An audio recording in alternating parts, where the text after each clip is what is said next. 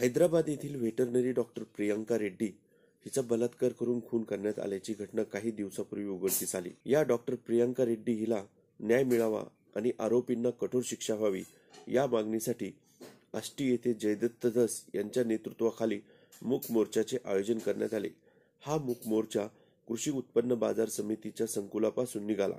बाजारपेठेतून तहसील कार्यालयापर्यंत गेला. त्यानंतर तहसीलदारांना निवेदन देण्यात आले.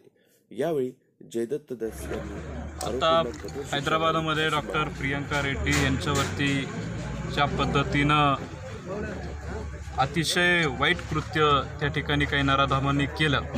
त्यांच्या निषेधार्थ आज आम्ही सर्व या ठिकाणी मिळून आष्टी तहसीलवरती मोर्चा या ठिकाणी आयोजित केला होता.